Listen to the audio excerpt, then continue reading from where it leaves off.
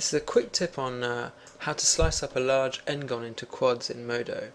Um, this oil drum was modelled using this cylinder primitive and one drawback of using this method is you always end up with this large n-gon either side of your mesh. So um, problem with this is that if you go into reflection mode and look at your mesh close up. You're going to see there's lots of artifacting. It's not a clean model. So how do we tidy this up quickly? Well we're going to go to the mesh edit tab the modeling tools and use the slice tool. Now there's one thing you need to know about the slice tool is this will slice across your entire mesh which is not necessarily what you want. So what you have to do is to hide the parts of the mesh that you do not want to affect. So what we're going to do is hit the shift tab key and then just select our large n-gon, shift H to hide the rest of the model and go into the top view and now we can use the slice tool and just cut up this particular polygon.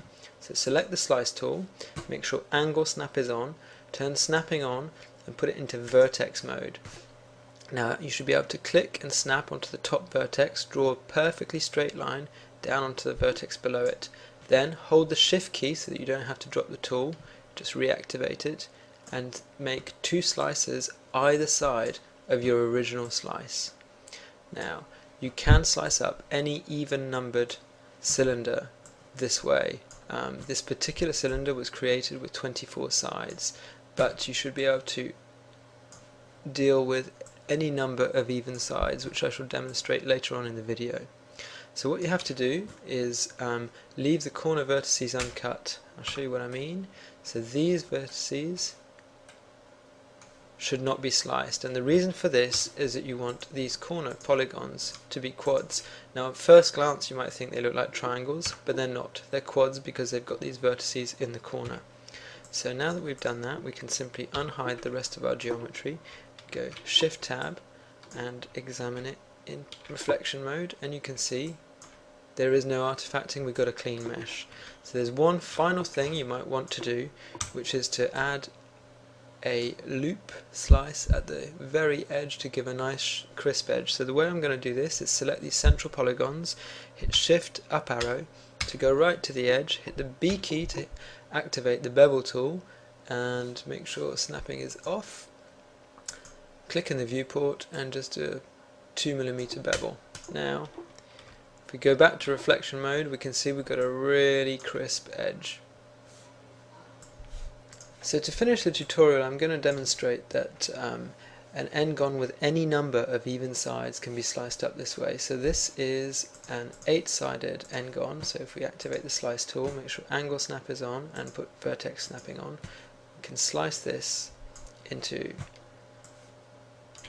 four even quads. Same with a 10-sided, activate the slice tool, cut that down the middle.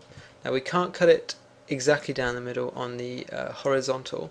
So we have to slice it here and here. But we still end up with six quads. Same with a um, 12 sided slice it here and here and then here and here. Now what all these shapes have in common is that you have to leave these corner vertices. Otherwise you're going to end up with triangles. So to make sure that you've got quads in the corners always make sure that you don't slice these last two um, sets of vertices into triangles. So here's a 14 sided, slice that like so, and then one more time vertically like this, and then 16, 18, 20,